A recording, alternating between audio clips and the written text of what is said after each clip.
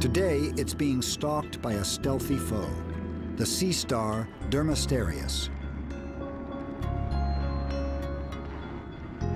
Sampling the water with its sensory tentacles, the sea star inches toward its prey.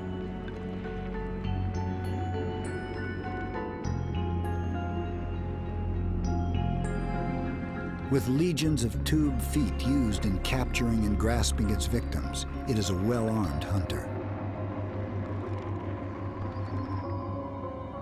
Stomphia remains unaware of the approaching danger.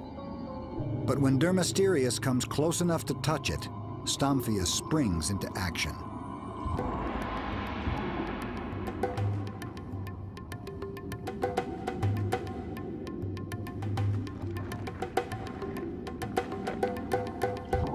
In a stunning defensive maneuver, Stomphia frees itself from the rock and swims away.